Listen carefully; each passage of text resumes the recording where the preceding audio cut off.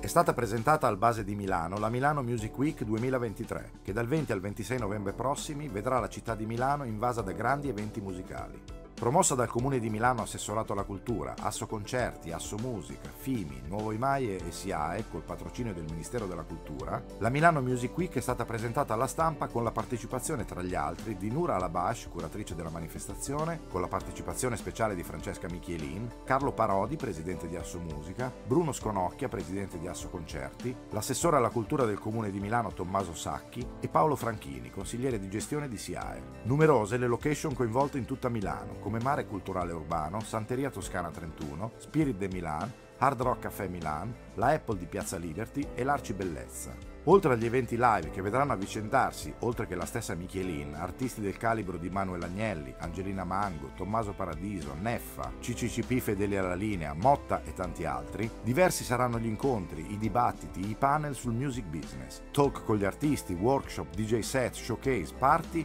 e interventi di grandi protagonisti dell'industria di settore, tra cui spicca in modo particolare quello di Lior Cohen, Global Head of Music di YouTube. Il legame indissolubile tra la città di Milano e la musica è stato sottolineato anche da un messaggio del sindaco Giuseppe Sala, che ha dichiarato Il legame di Milano con la musica è forte e radicato nel tempo dalla lirica alla musica classica, dalla leggera a quella pop, al rock, al rap. Non c'è genere musicale che non abbia trovato nella nostra città il luogo adatto in cui svilupparsi e farsi conoscere al grande pubblico, qualsiasi momento storico si voglia considerare. Sono certo che la Milano Music Week celebrerà anche quest'anno questo rapporto speciale, valorizzando musicisti, interpreti e tutte le professionalità del mondo dell'industria musicale, attraverso incontri, dibattiti e riflessioni coinvolgenti. Durante la conferenza stampa un momento di commozione ha unito il presidente di Asso Musica Carlo Parodi, il presidente di Asso Concerti Bruno Sconocchia e la direttrice artistica Nura Alabash nel ricordo di Vincenzo Spera, l'ex presidente di Asso Musica scomparso tragicamente lo scorso marzo, annunciando la sala Spera, sala a lui dedicata, all'interno di Casa Milano Music Week, in Torneria Tortona, via Tortona 32. Oltre al base, che sarà uno dei punti di riferimento della manifestazione, un altro punto nevralgico degli eventi sarà appunto Torneria Tortona, che ospiterà i principali principali panel sul music business. Vi ospiterà anche un'area co-working con uno spazio dedicato a RTL 1025, radio ufficiale della manifestazione,